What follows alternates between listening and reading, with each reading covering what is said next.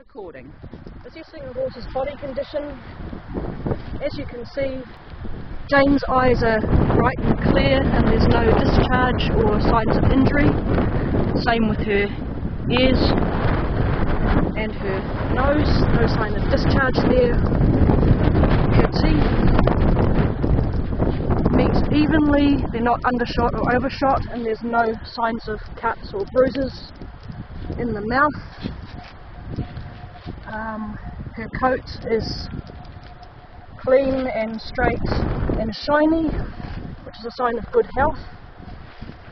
As you can see, Jane carries a bit, it's quite thick through the neck. She carries a bit of extra weight there. Her body condition is about a 3 or between a 3 and a 4. She's got a wee bit of extra weight on. But if you look at her back, there's no gully indicating that there's along the back indicating that there's not a lot of excess weight, just a wee bit. Her hooves are a little bit long. Um, as you can see, this one has a bit of a gully right here.